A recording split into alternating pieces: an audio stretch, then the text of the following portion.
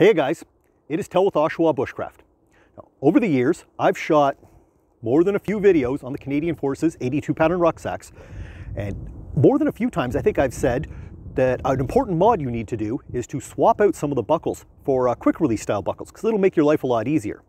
Now, I think at least a few times I said, I'm not going to shoot a video on that because there's already lots of videos on how to do that to an Alice pack, just go find another one.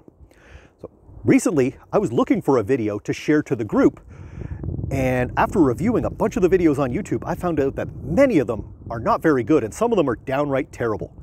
So that is a problem we're gonna rectify today. Uh, I'm gonna show you guys a quick and easy way to properly swap in a set of fat, uh, quick release buckles onto a rucksack.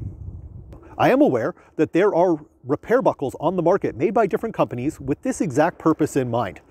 Uh, I've used them in the past, I like them. They usually cost you a few dollars more, but generally you get a very high quality buckle. And if they're locally available to you and you can pick those up, they're a good deal.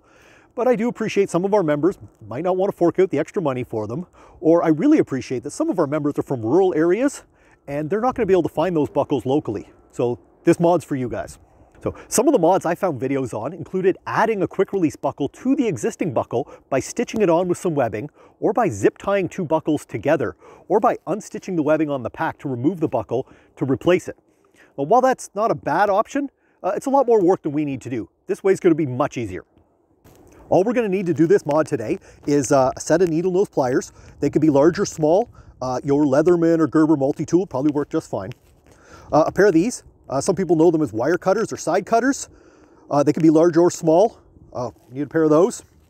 And we're going to need two quick release buckles. As far as the buckles themselves go, almost any one inch quick release buckle is going to work fine for this. Uh, your local fabric or sewing store, sell them to you for 99 cents, surplus store too. Uh, they don't even have to be new. Uh, your surplus store probably have some salvage ones they took off of broken equipment, or you can do it yourself. If you have an old gym bag or an old tool bag, or maybe your kid's old backpack when you get them a new one, uh, cut two buckles off it, you're ready to go. The first step of our mod is going to be remove this old buckle.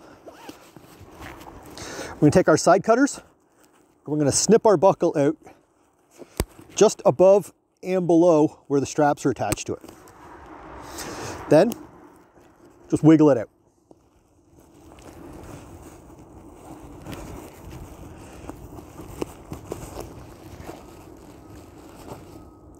Step two is going to be to prep our new buckle. We're going to take our side cutters and we're going to put a little cut down here in one end. I'll show you where.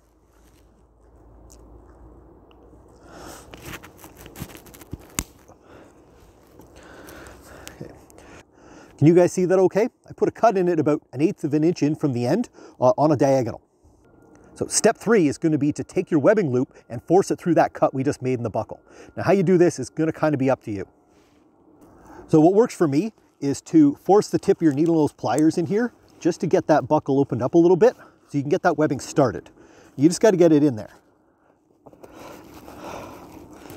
Okay. Uh, once it's in, hope you can see that okay grab it with the needle nose pliers and just continue to walk it in.